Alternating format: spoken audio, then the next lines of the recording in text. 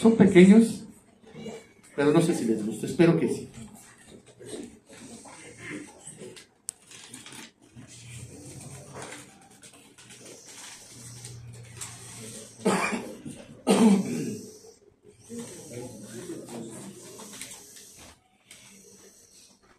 Triste, pero es verdad.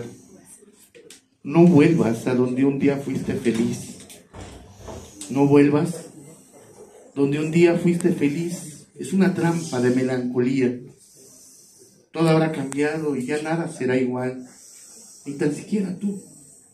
No intentes buscar los mismos paisajes y las mismas personas. No estarán. El tiempo juega sucio y se habrá encargado de destrozar todo aquello que un día te hizo feliz. No regreses al lugar donde un día fuiste feliz. Reténlo siempre en tu memoria, tal como era, pero no regreses. No vuelvas al pasado, ya lo conoces. La vida sigue y hay nuevos caminos que recorrer, nuevos lugares que visitar y otras personas que los esperan. Bravo, maestro.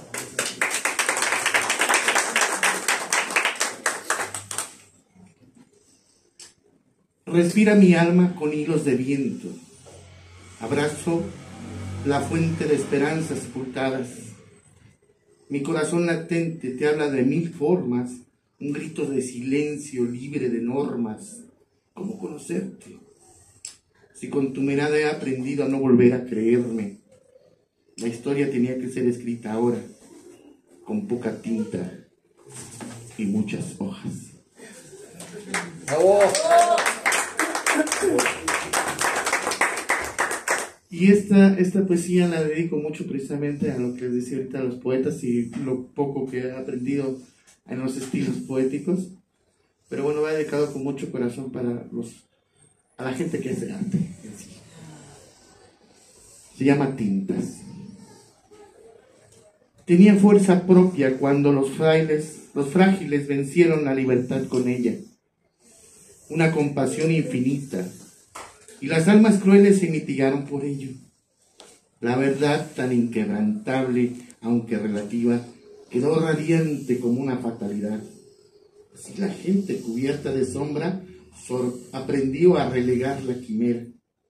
Aquellos cuyos costo era cenizo se hallaron una vez más en un juego.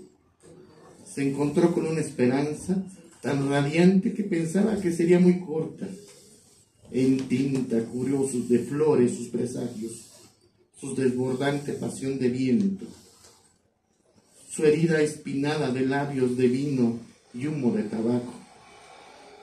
¿Qué golpe de viento y de lluvia podría saciar en un mar gris solitario que amanece? O una tierra ávida de semillas que choca en su cara de impresión. Él construyó un muro de ensueños cuando la realidad lo alcanzó y los espíritus ansiosos de su humanidad tomaron su hogar para vivir en él. Sin embargo, hubo quienes se burlaron de los presentes, de su derroche, y a veces, con peculiar sigilo, perdonó a los que lo imaginaron completamente loco. Bravo.